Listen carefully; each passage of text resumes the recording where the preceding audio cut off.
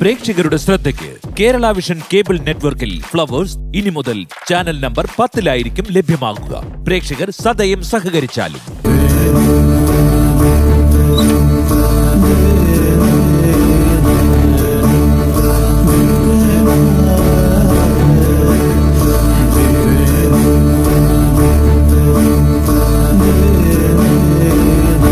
ഇതെന്താ ഇങ്ങോട്ട് വരാൻ തോന്നിയത്? ഒരു മാനം. വെഡിങ് ഇൻവിറ്റേഷൻ തരാമെന്ന ഏറ്റവും ഇഷ്ടപ്പെട്ടവർക്ക് ആദ്യം കൊടുക്കണമെന്നല്ലേ? താ നോക്കട്ടെ.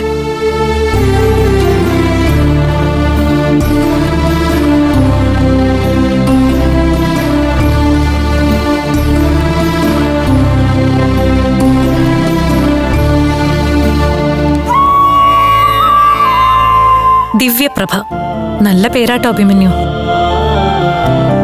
വല്ലാതെ പ്രഭചുരയും ജീവിതത്തിൽ. അതും ദിവ്യമായി തന്നെ. പ്രതീക്ഷിക്കാം. എന്തായാലും അമൃതമായിരിക്കാൻ വഴിയില്ല.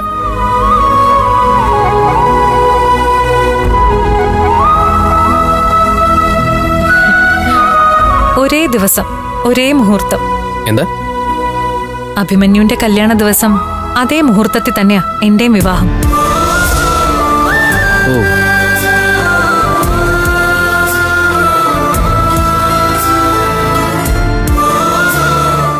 എന്താ ആലോചിക്കുന്നത് അല്ല നമുക്ക് രണ്ടു പേർക്കും ഇടയിലുള്ള ചില യാദർശികതകളും നിമിത്തങ്ങളും എന്നെ വല്ലാതെ അമ്പരിപ്പിക്കുന്നുണ്ട്. ഇത് യാദൃശ്യകാണെങ്കിലും അഭിമന്യുന്റെ അമ്മയ്ക്ക് സന്തോഷമായി കാണും. ഈ ദിവസവും മുഹൂർത്തം അമ്മയുടെ തീരുമാനം. വാശിയായിരുന്നു എന്ന് പറയുന്നതല്ലേ? കൂടുതൽ ശരി. ആയിരിക്കാം. എന്തായാലും ഇൻവിറ്റേഷൻ കാർഡ് തന്നേ ഉള്ളൂ. പഞ്ചരത്നങ്ങൾക്ക് പങ്കെടുക്കാൻ പറ്റില്ലെന്നറിയാം. എന്നാലും അറിയിക്കേണ്ടത് എന്റെ ഇഷ്ടമാണ്. ഒരേ മുഹൂർത്തത്തിലായതുകൊണ്ട് എനിക്ക് അഭിമന്യുവിന് വേണ്ടി ഒന്നും പ്രാർത്ഥിക്കാൻ പോലും പറ്റില്ല. ആ സമയത്ത് ഞാൻ എനിക്ക് വേണ്ടി പ്രാർത്ഥിക്കണ്ടേ? അതിന് പരിഹാരമുണ്ട്. ആ സമയത്ത് ഞാൻ അമൃതയ്ക്ക് വേണ്ടി പ്രാർത്ഥിക്കാം. താൻ എനിക്ക് വേണ്ടി പ്രാർത്ഥിച്ചാൽ മതി. ഈ പറയുന്നൊന്നും നടക്കില്ലെങ്കിലും എല്ലാ അനുഗ്രഹം ഉണ്ടാവാൻ മനസ്സ് നിറഞ്ഞ് പ്രാർത്ഥിക്കുന്നുണ്ട് ഞാൻ ഈശ്വരനോട്. എനിക്കത്ര ഈശ്വര വിശ്വാസമൊന്നുമില്ല ഈശ്വരൻ അനുഗ്രഹിച്ചിരുന്നെങ്കിൽ എനിക്ക് ഇഷ്ടപ്പെട്ട പെണ്ണിനെ കിട്ടില്ലായിരുന്നു.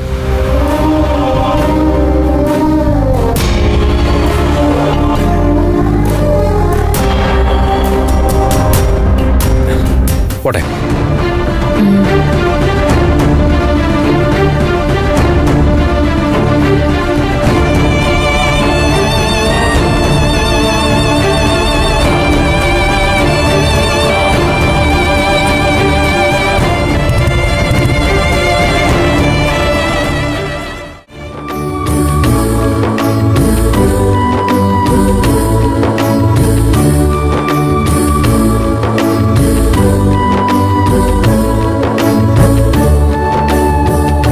അത്യാവശ്യമായി ഒരു കാര്യം സംസാരിക്കണമെന്ന് പറഞ്ഞപ്പോ കൂടെ വന്നേ ഉള്ളൂ ഞാൻ. എന്നിട്ട് ഇതുവരെ ഒന്നും പറഞ്ഞില്ലല്ലോ. എന്താ സാറിന്റെ ഉദ്ദേശം?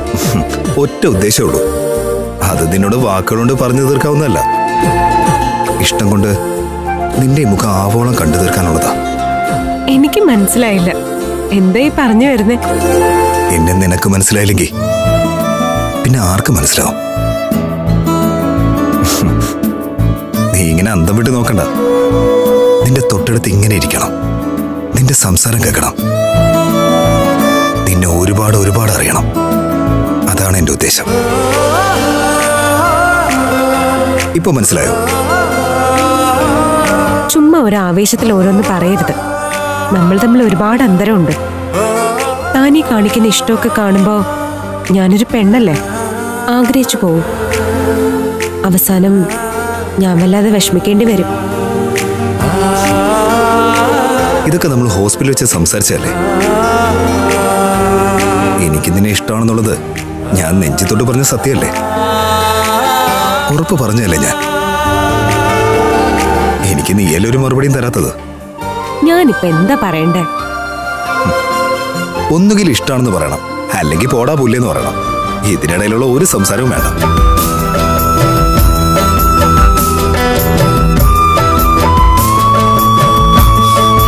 എനിക്കൊന്നും പറയാൻ പറ്റുന്നില്ല.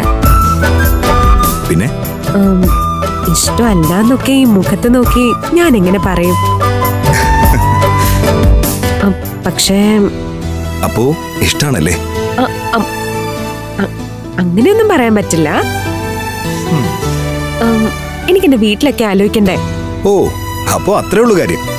ഞാൻ നേരിട്ട് വീട്ടിൽ ഒന്ന് കല്യാണം ആലോചിക്കാം. ഈ പെണ്ണിനെ തന്നേക്കാവോ? ഞാൻ വഴക്കും ബഹളമൊക്കെ ആയിട്ട് കൊണ്ട് നടന്നോളാന്ന് പറയാം.